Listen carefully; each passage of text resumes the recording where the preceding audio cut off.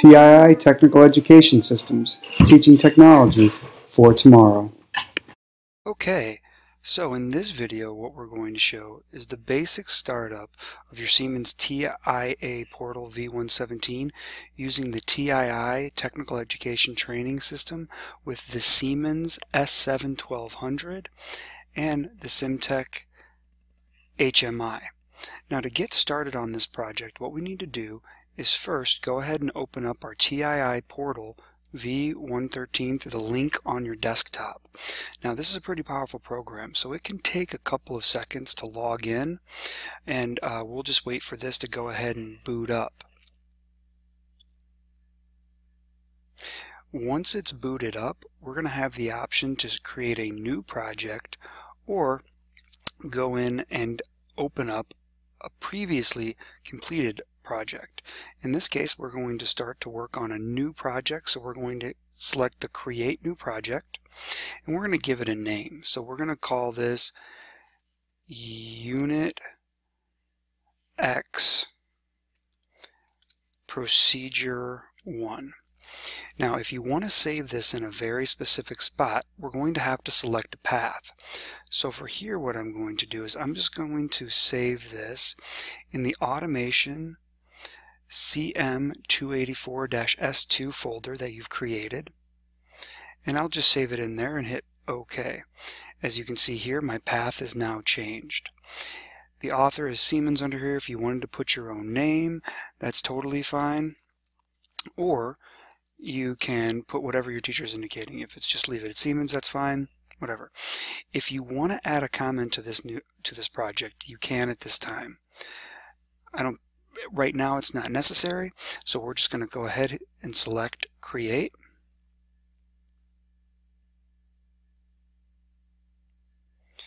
Now while this is creating the project what it's doing is it's setting up a path to where it's saving and getting everything going here. Now the first thing that we want to do is go ahead and configure a device once that's up. Now this brings you to the show all devices. Now we want to add a new device and this is where you can pick between an HMI and a controller. Now we're going to just put in the PLC right now. So we select controller. You go to um, you go to the SIMATIC S7 1200s. You expand this out. You go to the unspecified CPU 1200. This is by far the most common way to find what PLC is out there. So we click here this has gone out and defined what it is, what version it is, and we select Add. Now this will actually bring you to the project view. From here what we need to do is you can see they've put a generic PLC out there. So what we want to do is we want to send out, uh, we want this to go out and configure to the connected device. So we're going to select Detect. All right, and we want to get this set up. Now for now everybody may be networked into this PLC a little bit differently. We are actually using a USB um, USB converter to Ethernet. So we're going to select the PN/IE come here. Oops. Come here. Select the USB to Ethernet adapter and we're going to start the search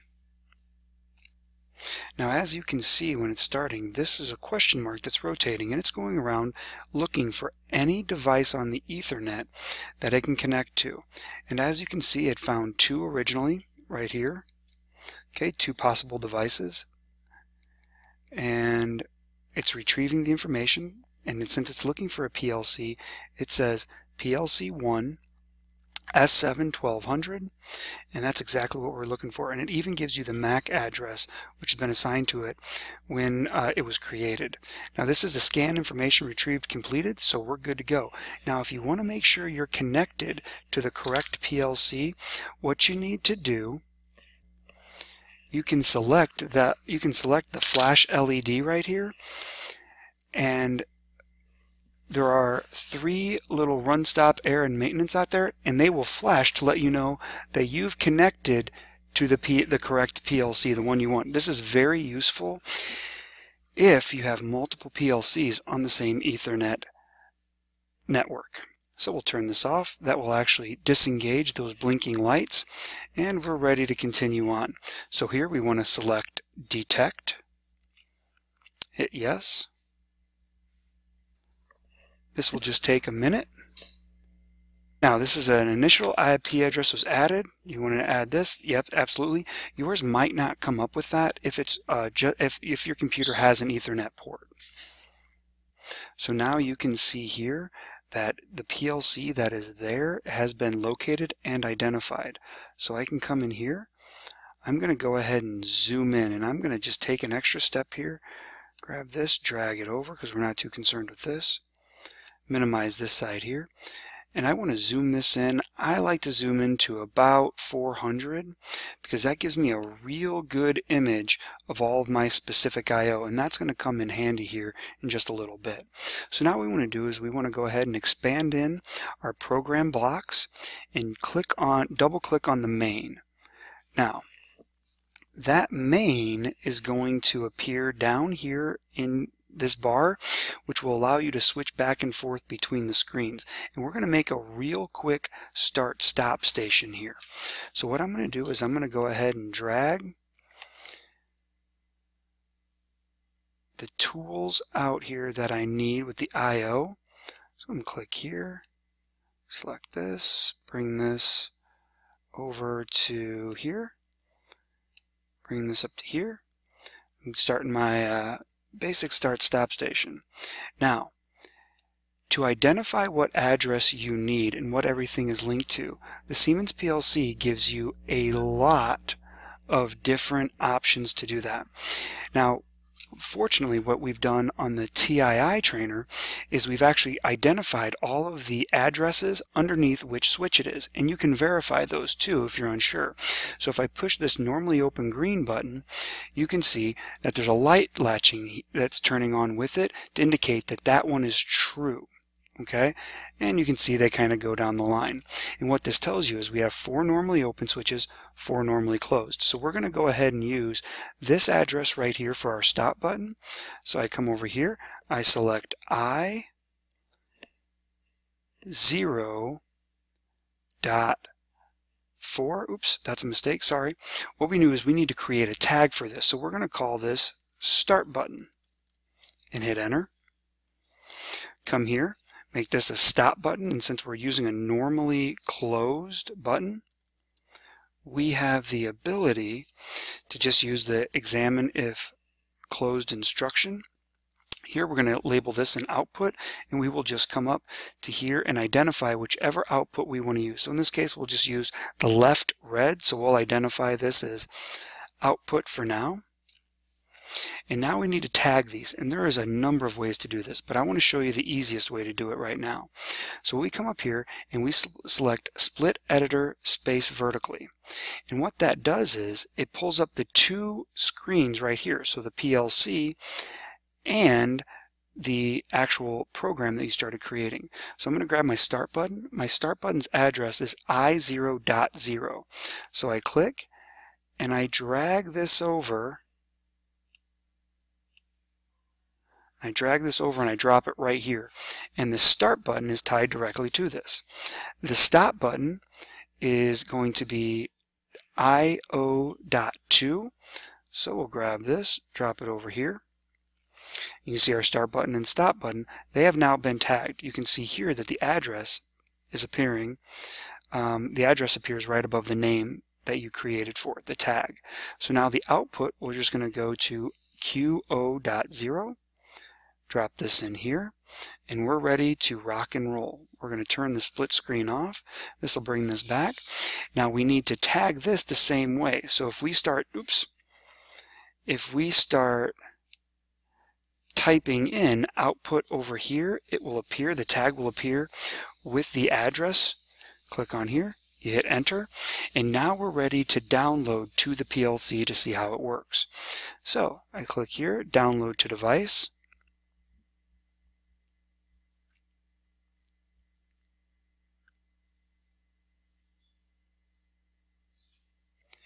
So here we have the PLC load will not perform because of precondition are not met. It's totally fine. stop modules. The stop mod uh, the modules are stopped for downloading to this device. So what we need to come here is select here and just select stop all and then we can select load right here. Now right now you can see this is it's downloading to here. Everything's ready to go. Do we want to start everything? Yes we do. So we'll go ahead and hit finish. You can see here, load completed, zero errors and zero warnings. That means everything is right where we want it to be. So we'll minimize this so we can see the um, program that we created. And if we want to monitor this in real time, which is preferred out in the field, what we can do is we can come and turn the monitor on. So we select this, and this will allow us to see what is actually happening out in the field. A very useful tool. So we come over here. You can see green means go, so our stop button is activated. I deactivate it, turning it off. That will cut and the line will go from green to blue, meaning that the logical continuity has been cut off. So I come up here and I hit the start button.